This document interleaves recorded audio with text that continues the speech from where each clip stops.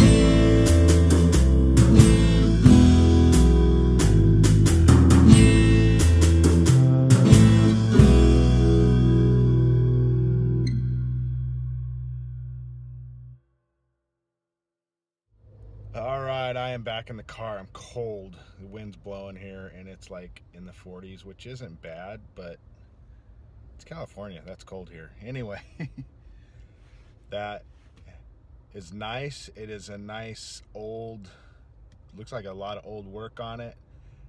But man, I love those old GMC motorhomes. I've always had the uh, idea of actually doing one of those and just doing some really cool work to it and then having something to run around in. But never have the money for them. But anyway, whoever the owner is, I believe you saw the New Mexico plates on it.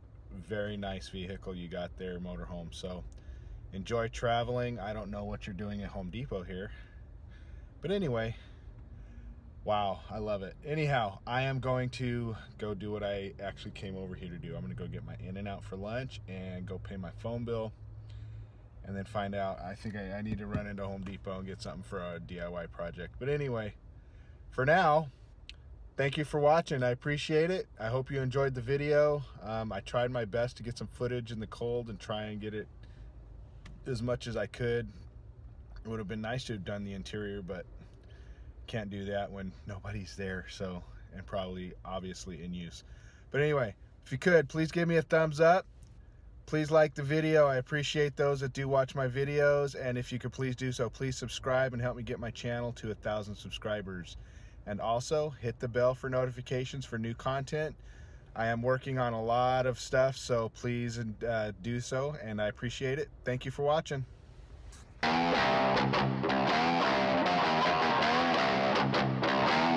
All right, before I go, um, I actually had to stop because I actually ran into the owner, not this guy, but gentleman right here that owns it. So it's a 1975 GMC. He's had it for about a year. Previous owner bought it from somebody out of New Mexico. That's why it still has New Mexico plate. So anyhow, I got to talk to him for a little bit. He's got a lot of plans for it. He actually is currently living out of it. Um, so anyhow, just wanted to throw that in there. So awesome. I told him that I was going to do a video on it. So maybe if you see this video later on, give me a thumbs up on your video on having your uh, GMC motorhome and drop a line. Anyway, it was great talking to you. I appreciated the conversation, being out in the cold still. It was nice talking to somebody about their vehicle. Anyway, everybody have a good day.